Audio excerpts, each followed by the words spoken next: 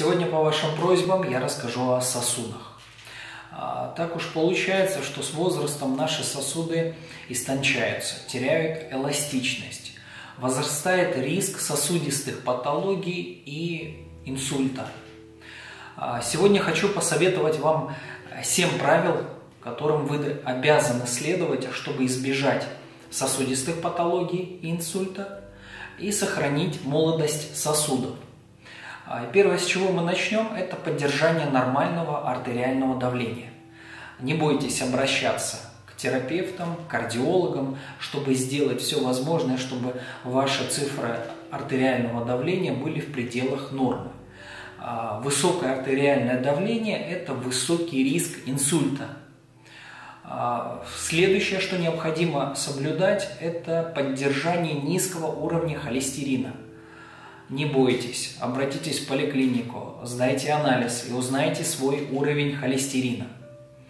А следующее, что необходимо также соблюдать а, и чему следовать, это поддержание нормального уровня глюкозы.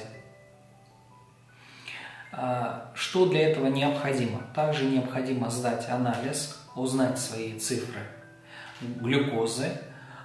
И если в случае, что э, наши цифры будут очень высокими, обратитесь к врачу-эндокринологу.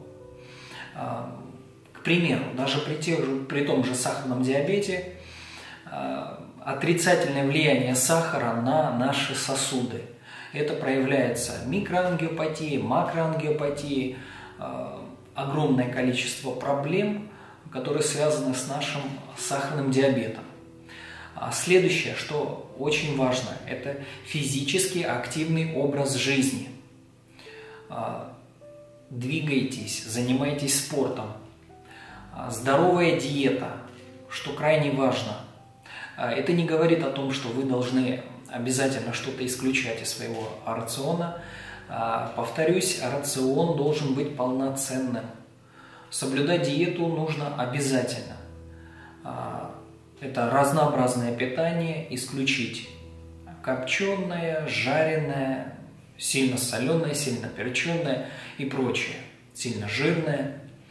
А следующее, что необходимо обязательно соблюдать и поддерживать, это нормальную массу тела.